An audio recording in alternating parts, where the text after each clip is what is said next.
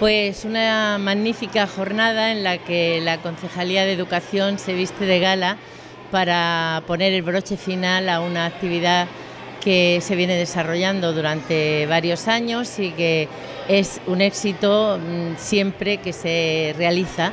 por la respuesta de todos los colegios, de todos los profesionales y de todos los niños. Hay que destacar eh, la participación activa de 12 colegios que han presentado obras de teatro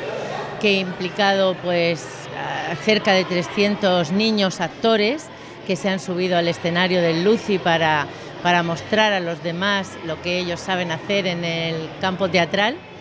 Y también pues la participación de 20 colegios que han asistido como espectadores y que bueno, también han disfrutado de lo que les han presentado sus compañeros.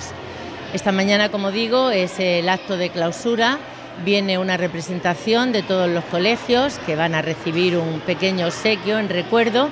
pero al mismo tiempo también van a presenciar una obra de teatro de una compañía profesional para deleitarles. Agradecer, por supuesto, porque esto no sería posible, no solamente con la participación de todos los centros, de los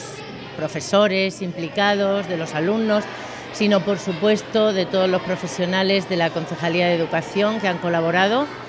que han hecho posible este acto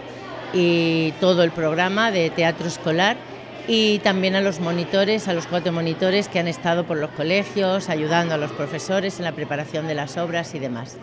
A todos ellos muchísimas gracias y como digo, felicitarnos porque hoy es un día pues muy agradable para los niños y en, en definitiva ese es el objetivo cuando trabajamos en la Concejalía de Educación. Muchas gracias.